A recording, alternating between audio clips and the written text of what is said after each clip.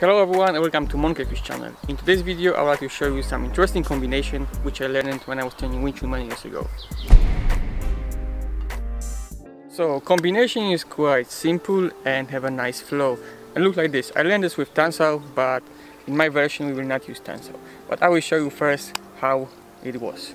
So when he is throwing a punch like hook or something and I go inside boom Tan Sao, Kin. After that, I go with my elbow, two. Now, my back fist, three. Boom, Kin, and we are in the chain punch. Boom, boom, boom, boom. So as you can see, the combination is quite easy and have a nice flow because look like this, like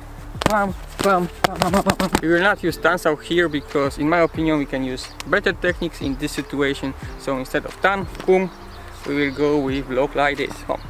Why? Because when somebody throw a hook, then you can stop this hook by putting your hand around his elbow. So when Gunther going to throw a punch, you can stop him here. So, and if you are not strong enough to stop it, then this can transform easily for takedown.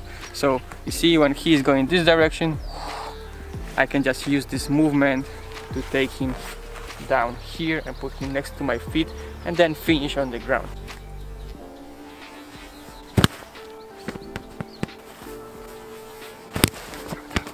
Boom, technique like this. After that we go with our left elbow, boom, and here because we don't want to waste our move to, for coming back to the fighting stance and continue with some action. Because we are already here then it's back fist and then we are ready ready for our next move. So one more time is one two three four five six. Something like this. So as you can see the combination is quite easy and have a nice flow because it's one two three four pam pam. So let's talk about footwork.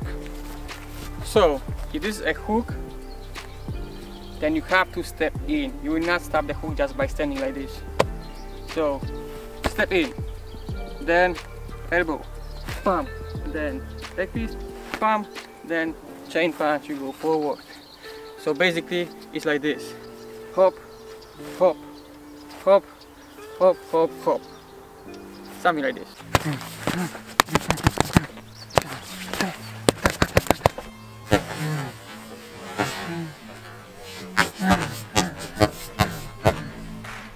Okay, so this is it.